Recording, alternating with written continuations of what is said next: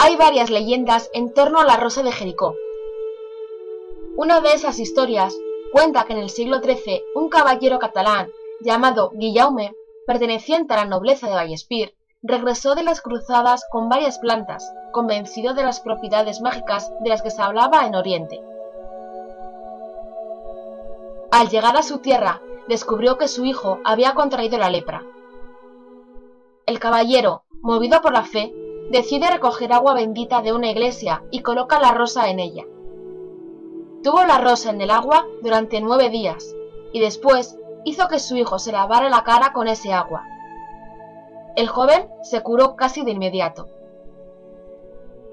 Otra leyenda cuenta que estando Jesús orando en el desierto, una rosa de Jericó quedó a sus pies, llevada allí por el viento. Al amanecer, la humedad del ambiente se transformaba en gotas de rocío que quedaban posadas sobre las ramas de la planta. Jesús recogía estas gotas con los dedos y se las llevaba a los labios para calmar su sed, después de haber pasado toda la noche rezando. También se cuenta que cuando Herodes amenazó con matar al niño Jesús, María y José tuvieron que escapar hacia Egipto.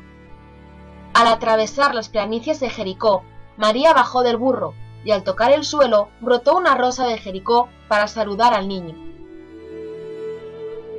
Dicen que mientras Jesús permaneció en la tierra, las rosas florecieron, pero cuando murió en la cruz, todas se secaron y murieron.